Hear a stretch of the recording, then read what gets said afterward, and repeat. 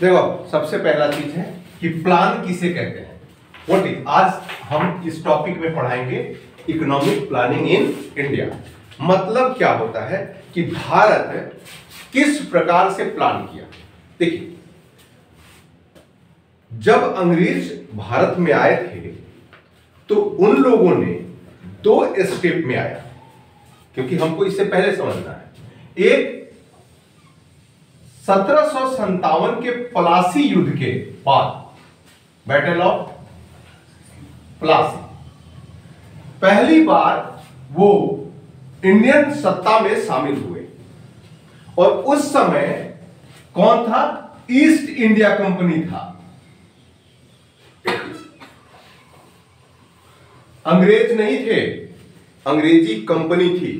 यानी कोई देश का सत्ता नहीं था। कब तक? तो 1757 टू 1857 तक ये कंपनी रूल था। तो कंपनी अपने प्रॉफिट के लिए रूल बनाई। इसके बाद अगले 1858 में अंडर क्राउन कंपनी आया। यानी कंपनी समाप्त। भारत क्या हुआ? ब्रिटिश ताज के अंतर्गत आ गया। तो वहाँ के संसद द्वारा 1947 तक कानून बनते रहे। आप देखे होंगे 1861 अधिनियम। देखे eighteen eighty one eighteen ninety ना 1881 1892 1909 मॉर्ले मिंटो 1919 1927 1935 1947 ये ये ये। साइमन कमीशन नहीं लिया गया। इसको तो खारिज कर दिया कि खाली गोरे हैं इसलिए नहीं लिया गया। तब 1935 1947 देश आज़ाद होने तक खर्च और कमाई का जो ब्यौरा है वो सारे अंग्रेज़ अपने पास रख लेते हमारे पास कोई अपना नहीं था। और इतिहास समझना ज़रूरी है। इतिहास इसलिए समझना ज़रूरी है कि हम अपना कैसे समझेंगे? अगर हम कांग्रेस की बात करें तो 1905 से पहले 1885 से 1905 के बीच की कांग्रेस का मॉडरेट कहते हैं, यानी उदारवाद। तो ये उदारवादी करते क्या थे? तो याचक करते थे कि श्रीमान, ये जो धन आ जा रहा है, उसका व्यवस्था थोड़ा कम किया जाए। सैनिक खर्च कम किया जाए। अंग्रेज़ उसी जगह रेल बिछाए जहाँ से वो उगाही कर सके यानी खान। रानीगंज रेलवे लाइन क्योंकि कोयला यहाँ से मिलता था रानीगंज टू हावड़ा पहले बना बाद में पटना लाइन बना।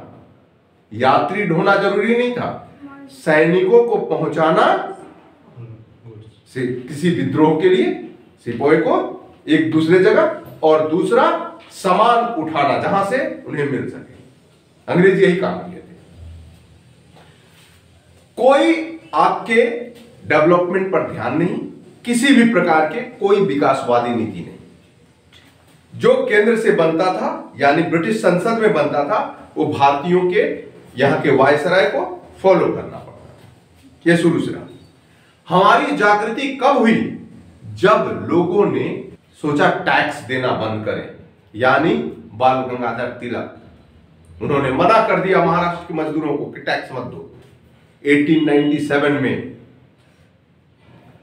गणेश महोत्सव, शिवाजी महोत्सव, ये दोनों उन्होंने शुरू किया और लोगों को इकट्ठा चालू किया। तब लाल बाल पाल, ये तीनों एक्सट्रीमिस्ट हो गए। देखिए इतिहास कितना ज़्यादा ये है। और पहली बार हमें सत्ता का एहसास हुआ 1905 के बाद। 1905 में बंगाल जो विभाजन हुआ, उसे रद्द किए करने के खिलाफ में हम लोग उतर गए। और जब उतरे तो कब विद्रोह आंदोलन में बदल गया? स्वदेशी आंदोलन। पहली बार हम देश के सोचने लगे। हालाँकि सबसे पहले दादा भाई नौरोजी ने चेताया था। उन्होंने एक बुक लिखी। Un British rule in India, नाम सुने हैं? तो में, उस किताब में उन्होंने पहली बार भारतीयों को पर कैपिटा इनकम बताया। जागृति धीरे धीरे हुई। आपको पता है कि इकोनॉमिक सिस्टम, कितने लोग हैं, कितने पैसे आए, सेंसस सबसे पहले कब हुआ था? 1872 में। और रेगुलर कब से हुआ? 1881 से एवरी टेन इयर्स पे सेंसस होने लगा। धीरे धीरे लोग जागृत होने लगे। इसके बाद यहाँ वेलफेयर वर्क एजुकेशन पे कितना खर्च करना है, ये सारे धीरे धीरे अंग्रेज़ करने लगे। तो 1905 के बाद हमें अपने लिए जागृति चाहिए और हम सोचने लगे। लेकिन अब कहाँ से बेसिक शुरुआत हुआ? तो 1935 में पहली बार अंग्रेज़ों ने एक कॉन्सेप्ट दिया, अखिल भारतीय संघ। अखिल भारतीय संघ ऑल इंडिया लेवल और उन्होंने 1935 का जो अधिनियम बनाया, आपको पता है कि कॉन्स्टिट्यूशन में 70 से 75 प्रतिशत हिस्सा इसी का है।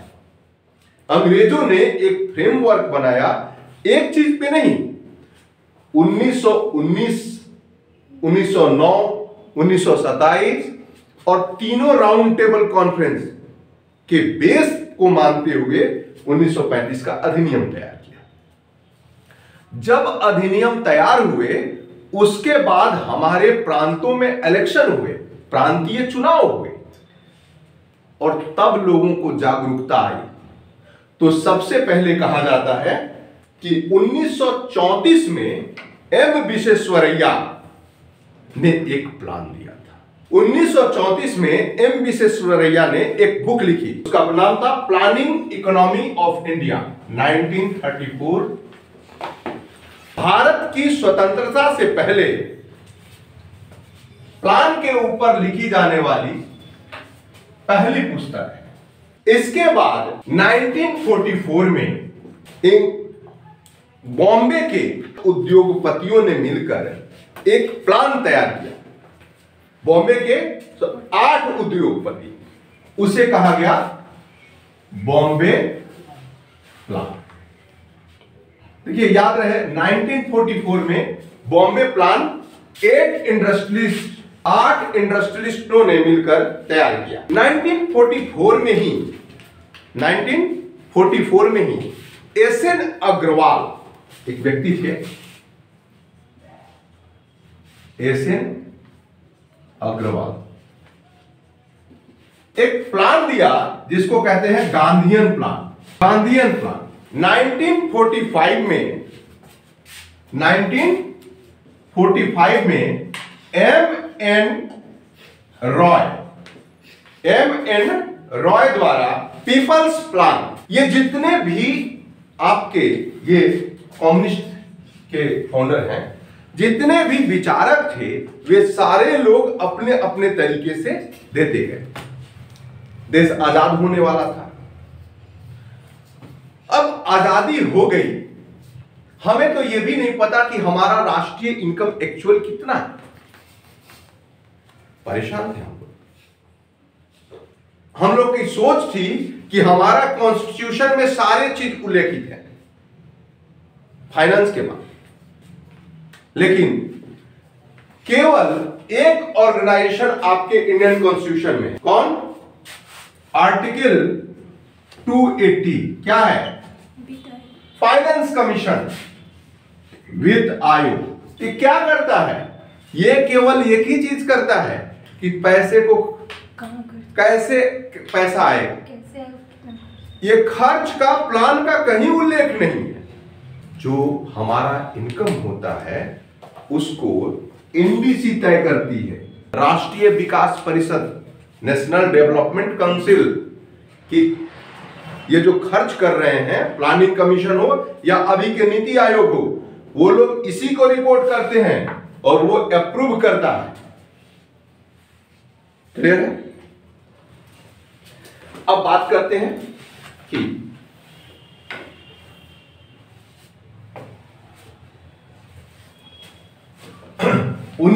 उन्नीस यानी 1950 1950 में देश आज़ाद हुआ 1947 में।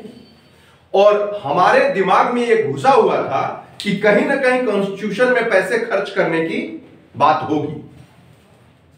और हमारी माली हालत बहुत खराब थी, क्योंकि विभाजन के बाद यह तय किया गया कि लगभग पचहत्तर करोड़ रुपए पाकिस्तान को दिया जाएगा। अब भारत शुरू में 20 करोड़ दे चुका था। गांधी जी के दबाव पर फिर 55 करोड़ बीच में ही देना पड़ गया। यानी अगस्त 15 अगस्त 15 अगस्त 1947 को देश आज़ाद हुआ और 20 करोड़ राशि पाकिस्तान को दे दी गई। क्योंकि उस नया देश था, उसका कोई इकोनॉमी नहीं था।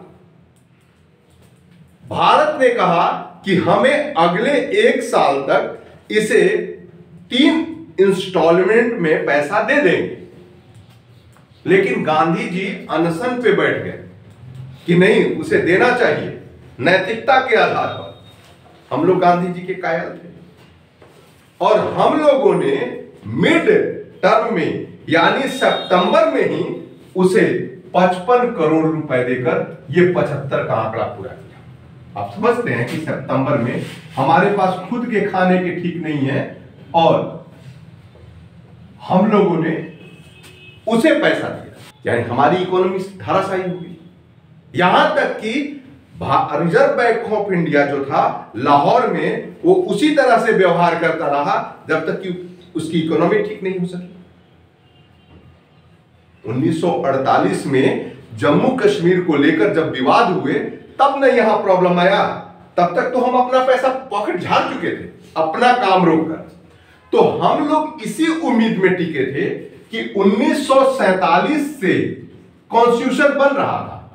यानी 9 दिसंबर 1946 में बैठक हुई और तब से कॉन्स्टिट्यूशन बन रहा 24 जनवरी 1950 को पूर्णतः कॉन्स्टिट्यूशन बन चुका। रोका गया। 26 जनवरी को लागू हुआ। अब हमारा 26 जनवरी जो था, वो ये था कि इसी में हमारे खर्च करने के तरीके तय रहे। लेकिन ऐसा कुछ नहीं हुआ। कॉन्स्टिट्यूशन में पैसे खर्च करने की कोई बेहतर तरीका नहीं था। और आपको बता दें कि जब देश आज़ाद हुआ और कॉन्स्टिट्यूशन लागू हो गया, गणतंत्र हो गया, तब क्या किया जाए? पैसे तो आ रहे थे रेवेन्यू तो सरकार को आने लगे, लेकिन एक काम नहीं था। अपार गरीबी थी। इंफ्रास्ट्रक्चर के नाम पे शून्य न सड़क थे। लोगों का खाने का व्यवस्था नहीं था। 40 से 60 प्रतिशत लोग भूखे सोते थे। इतना बुरा हाल था कि कोई सोच ही नहीं सकता। नेहरू जी बहुत अच्छे यूनिवर्सिटी से पढ़े थे। सोच अच्छा था, अमीर घराने के थे। उन्होंने कहा कि इंडस्ट्रियलाइजेशन कर दिया जाए इंडस्ट्रीज़ बैठा दिया जाए हम लोग, रातों रात अमीर हो कभी नहीं होता है। इकोनॉमिक्स में ये सोच जो सोचा है, वो नहीं होता है। एक यूपीएससी में एक क्वेश्चन आया था, ये बहुत अच्छा चीज़ है, कि हमेशा देखिए, होता क्या है कि पहला प्राइमरी सेक्टर यानी प्राथमिक क्षेत्र क्षेत्र, जिसमें एग्रीकल्चर खनन, मत्स्य, ये आते हैं, उसको डेवलप कीजिए। जब डेवलप कीजिएगा, तब आपको प्रोडक्शन यूनिट यानी द्वितीय सेक्टर, यानी इसके बाद स्टेप है कि आप द्वितीय में आइएगा सेकेंडरी में। इंडस्ट्रीज़ बनेगा, तब आप आगे बढ़िएगा। और तीसरा में आप क्या कीजिएगा तो तब आप सर्विस में आइएगा। और जब सर्विस में आइएगा, यानी तृतीयक में, सेवा क्षेत्र में, सेवा, उत्पादन और श्रम, तभी आपको विकास होगा। यानी सर्विस सेक्टर ही विकास को माना गया। यूपीएससी में जो क्वेश्चन था कि क्या प्राथमिक से क्षेत्र से सीधे तृतीय क्षेत्र में जाया जा सकता है? अगर पैटर्न दिया जाए तो बहुत सारे अर्थशास्त्रियों ने कहा बिल्कुल नहीं। लेकिन सच्चाई यह है कि कुछ देशों ने प्रूफ कर दिया कि नहीं जाया जा सकता जैसे सिंगापुर। सिंगापुर क्या है? सर्विस हब है। पूरे एशिया के लोग वहाँ पे अपना ऑफ़िस खोल रखे स्विट्जरलैंड सारे विश्व के बड़े बड़े ऑर्गेनाइजेशन है, उसके हेडक्वार्टर कहाँ है? जनेवा में। डेवलप है। धार्मिक नगरी है। वहाँ पर भी यही है। फिर हम चले जाइए मलेशिया। प्रोस्टिक्यूशन से डायरेक्ट उसने छलांग मार दी सेवा क्षेत्र में। द्वितीय क्षेत्र है ही नहीं। तो कुछ को छोड़कर। लेकिन दो टर्म है। ये कुछ उदाहरण है। बाकी हर जगह देखा गया कि प्राथमिक सेकेंडरी और टर्सियरी अब आज़ादी के समय हमारे पास खाने के लिए कुछ नहीं और जनता चाहती थी कि प्रधानमंत्री सरदार वल्लभ भाई पटेल बने। गांधी जी और उनके और सहयोगी या कांग्रेस के बहुत सारे नेता चाहते थे कि प्रधानमंत्री आपके जवाहरलाल नेहरू बने। तो दोनों को रखते हुए प्रधानमंत्री का पोस्ट जवाहरलाल नेहरू को दिया गया और उप प्रधानमंत्री का पोस्ट वल्लभ भाई पटेल को। गांधी जी भी चाहते थे कि ग्रामीण क्षेत्र का विकास हो। वह भी नेहरू के इस पक्ष से सहमत नहीं थे कि औद्योगिकरण हो। परिणाम क्या हुआ? परिणाम यह हुआ कि लोगों के दबाव में हम लोगों ने सबसे पहले प्रायोरिटी क्या दी? तो कृषि को। क्योंकि खाना रहेगा, तब आगे बढ़ेंगे। तो इससे पहले हम जाने कि किस प्रकार हम योजना आयोग का गठन किए। 26 जनवरी। समय समझिए 26 जनवरी 1950 को हमारा कॉन्स्टिट्यूशन इंप्लीमेंट हुआ। और फरवरी में बजट पेश किए जाते हैं। और बजट के बाद यह ट्रेडिशन बहुत दिन से आ रहा है। बजट के साथ, जब देखा गया, क्योंकि रेलवे था ही आपका रेलवे एक बहुत बहुत इनकम का साधन है। ये टैक्सेशन था ही, अंग्रेज़ों द्वारा बनाया गया। तो पैसे तो आ रहे थे, खर्च कहाँ किया जाए? तो नेहरू जी ने देखा कि यूएसएसआर याद रखिएगा, पूर्व सोवियत संघ जिसको बोलते हैं। यूएसएसआर में प्लानिंग सिस्टम 10 सालों के लिए किया जाता है। और आपके पास पार्लियामेंट में यह सिस्टम है कि आप कोई भी ऑर्गेनाइजेशन बना सकते हैं। तो ये टेन इयर्स प्लान थे। भारत ने इसे देखते हुए फाइव ईयर प्लान अडॉप्ट किया। और ये फाइव ईयर प्लान जिसे हम पंचवर्षीय योजना कहते हैं, उसके लिए प्लानिंग कमीशन का गठन किया। प्लानिंग कमीशन ऑफ़ इंडिया 15 मार्च 1950 ये पूछा हुआ है, बिहार पब्लिक सर्विस कमीशन में दो तीन बार पूछ दिया। डेट तो 15 मार्च 1950 को योजना आयोग का गठन किया गया। योजना आयोग। अब देखिए, यहाँ पूछता है, योजना आयोग 15 मार्च 1950 से 31 मार्च जारी रहा। 31 मार्च 2017 तक जारी रहा। यानी अब तक कुल कितनी पंचवर्षीय योजना हो गई? हाँ, अब तक कुल कुल 12 फाइव ईयर प्लान हुए 15 अगस्त 2014 को 15 अगस्त 2014 को प्रधानमंत्री द्वारा लाल किले से नीति आयोग की घोषणा की गई। नीति आयोग नीति आयोग, एक जनवरी एक जनवरी 2015 से कार्यशील है, यानी प्लानिंग कमीशन को स्थगित कर दिया। यह भी हम बात करेंगे कि क्यों स्थगित किया गया और इसका कारण क्या रहा। अब देखिए, भारतीय संविधान में कमीशन बनाने का पार्लियामेंट को अधिकार है। तो प्लानिंग कमीशन जो है, वो नॉन कॉन्स्टिट्यूशनल है। हिंदी में बच्चे गलती करते हैं, कहते हैं असंवैधानिक, जबकि गैर संविधानिक है। यानी इसमें इसका उल्लेख कॉन्स्टिट्यूशन में नहीं है। नॉन कॉन्स्टिट्यूशनल है। गैर मतलब होता है नन असंवैधानिक यानी अनकॉन्स्टिट्यूशनल यानी वो यहाँ हो जाएगा इलीगल तो इलीगल नहीं है। यह एक गैर गैर संविधान संविधानिक। है। नॉन कॉन्स्टिट्यूशन नॉन कॉन्स्टिट्यूशन यानी इसका उल्लेख कॉन्स्टिट्यूशन में नहीं होता। यह रसिया से लिया गया है और फाइव इयर्स के लिए लिया गया। गठन बताए 15 मार्च 1950 19 अब रेगुलर नहीं हुआ इरेगुलरिटी हुई। इसके पीछे कई कारण थे। कभी युद्ध रहा, कभी देश की आर्थिक स्थिति रही। तो सबसे पहले हम इसका फ्रेमवर्क कर देते हैं। ताकि आपको याद हो जाए।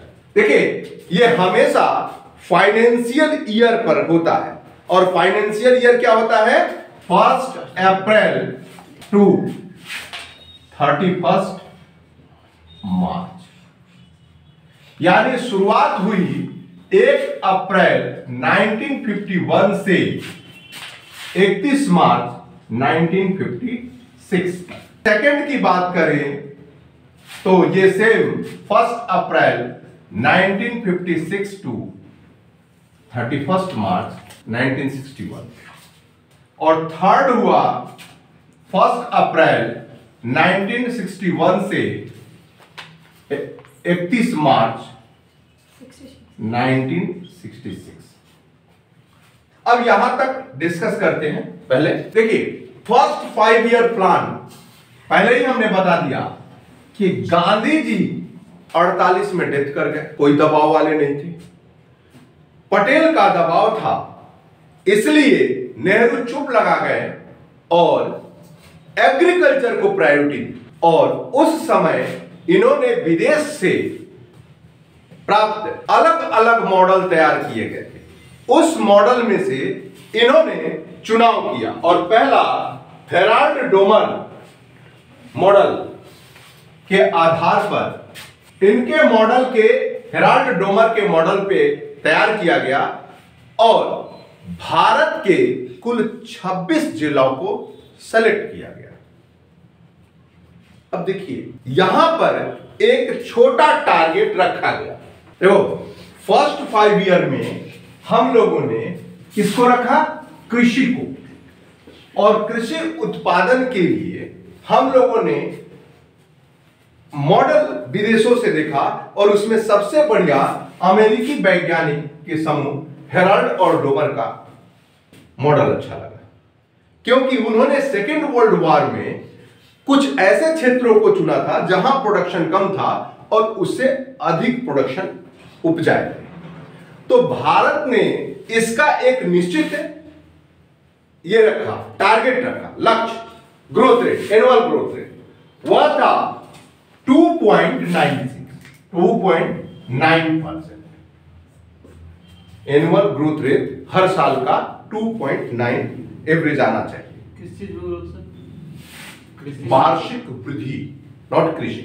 एनुअल ग्रोथ होता है कि पिछले साल की तुलना में हम कितना बढ़े।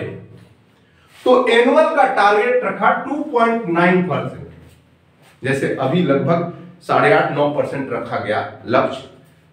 तो उसी तरह से उस समय दो दशमलव डरते डरते रखे। और पता चला कि हमारा जो अचीवमेंट हुआ 3.6 परसेंट रहा। तीन दशमलव छह प्रतिशत। अब हम अपना पीठ ठोकने लगे। यानी हम दो दशमलव नौ के चक्कर में थे और हमें कितना हो गया? तीन दशमलव छह। आपके प्रधानमंत्री खुश हो गए? सब लोग खुश हो गए? जो मैंने टारगेट लिया था, वो पूरा हो गया। प्रोडक्शन बहुत हुआ एग्रीकल्चर हो गया, अब इंडस्ट्रीज़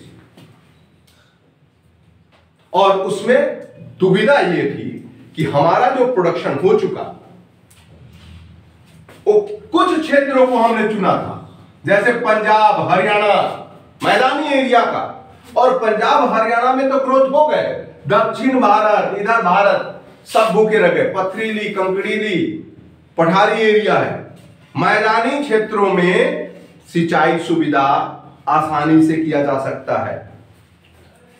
पहाड़ी क्षेत्रों में नहीं।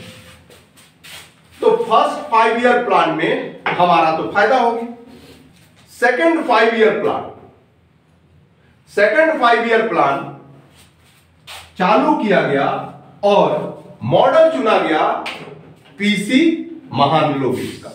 पीसी महान लोबिस औद्योगिक क्षेत्र के जानकार।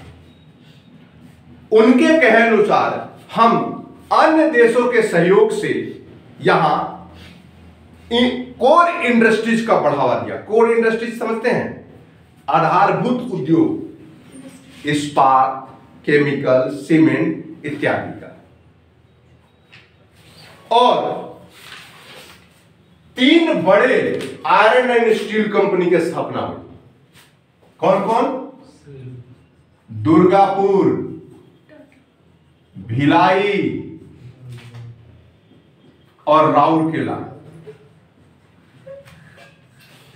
टाटा टाटा जो है, वो 1907 में स्थापित किया, वो निजी क्षेत्र का है। ये सार्वजनिक क्षेत्र का तीन अलग अलग देशों से सहयोग लेकर हम लोगों ने शुरू कर दिया। अब देखिए, यहाँ पे एक समस्या ये है कि हमें लगता है कि आज बीज रूपे और कल कल से फल देने लगा। बिल्कुल नहीं। इसको लगाने में अगर आप गृह निर्माण करते हैं तो उसमें भी अगर लोन लेकर बनाते हैं तो आपका भी रखा पैसा लग जाएगा। और हुआ भी ये। भारत का बहुत सारा धन इसमें लगने लगा। और तीन बड़े उद्योग इसी बीच कहीं ना कहीं राजनीति भी इसका कारण रहा। तो राजनीति भी साथ साथ लेके चले। नेहरू जी पूरे विश्व में मशहूर हो गए थे और उन्होंने एक ऑर्गेनाइजेशन बनाया था जिसका नाम था नैप नॉन। Alliance movement. क्योंकि सेकेंड वर्ल्ड वॉर के बाद पूरा विश्व दो भागों में बंट गया था। एक फ्रेंडली दूसरा एक्सेल यानी एक मित्र राष्ट्र, दूसरा धूरी राष्ट्र। तो जो भी नया नया देश स्वतंत्र होता था, इन्हीं दोनों में शामिल हो जाता था। इन्होंने बेलग्रेड में इसका बैठक की और नॉन अलायंस मूवमेंट न मित्र में जाएँगे, न धूरी में जाएँगे।